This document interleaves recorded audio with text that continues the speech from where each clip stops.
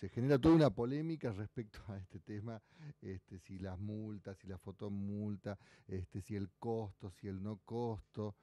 Y la verdad que creo que estamos cambiando el eje de la discusión, porque la, discusión debiera estar planteada en las muertes y en los accidentes de tránsito que vemos todos los días. Digamos, nos rajamos la vestidura cuando sucede un accidente de tránsito que le cuesta la vida a una persona, a un comprovinciano, a un salteño, o este, cuando vemos un accidente con heridos que van al hospital San Bernardo y nadie hace el costo de lo que significa la reparación de la salud de esa persona. Y ahora queremos cambiar el eje de la discusión planteando de si los cinemómetros y la fotomulta tienen un sentido este, meramente recaudatorio o no.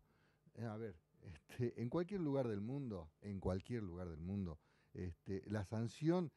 se produce cuando hay una infracción. Y acá de lo que tenemos que hablar es precisamente de la enorme cantidad de infracciones que cometemos a diario todos, en general todos los que conducimos un vehículo. Entonces me parece de que es una discusión bizantina, es una discusión este, que no hace la cuestión, lo que tenemos que hacer es precisamente lo que tenemos que cumplir, es la ley. De eso debiéramos preocuparnos por cumplir en respetar las velocidades máximas, de circular con las luces prendidas, de tener el cinturón de seguridad puesto, de que aquellos que tienen que son motociclistas que vayan con el casco este, eh, eh, en su cabeza, él y las personas que lo acompañan. De esto debiéramos hablar, del cumplimiento de la ley, del apego a la ley. Estamos trabajando ya con el presupuesto. El contador Abeleira, el secretario de Hacienda, ya mantuvo algunas reuniones informales y obviamente nosotros tenemos que esperar que se fijen las pautas a nivel nacional del presupuesto nacional, que se fijen las pautas a nivel provincial para saber cuáles son los recursos que vamos a tener disponibles este, en función de